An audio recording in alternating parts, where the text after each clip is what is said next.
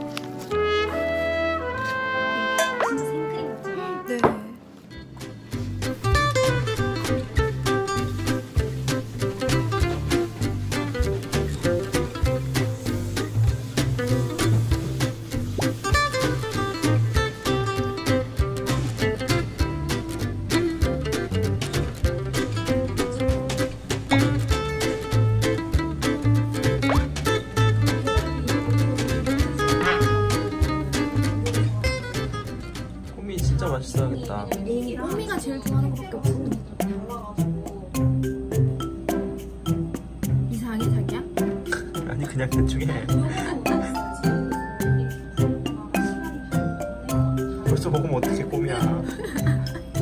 벌써 먹었어. 그래서 이, 이 여기 먹어버렸어. 아니 저희 목표는 없어요. 딸기 하나가 더 낫네 그냥.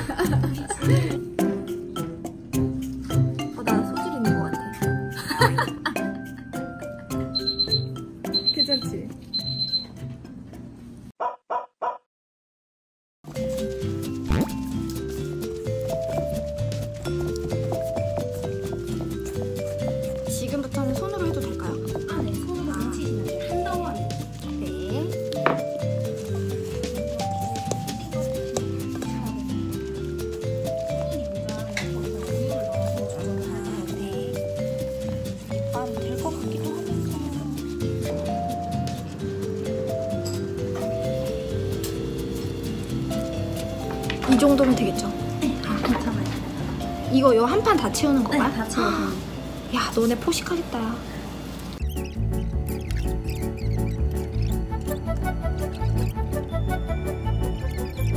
요거를 이렇게 뭉치시면 네. 이런 모양이 나와요.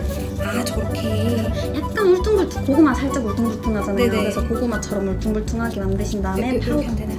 조금 더 납작하게 아, 나 참. 안에 이렇게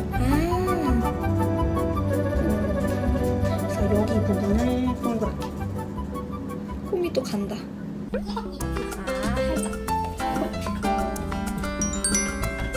우와 너무 귀엽다. 진짜 군고구마 같아.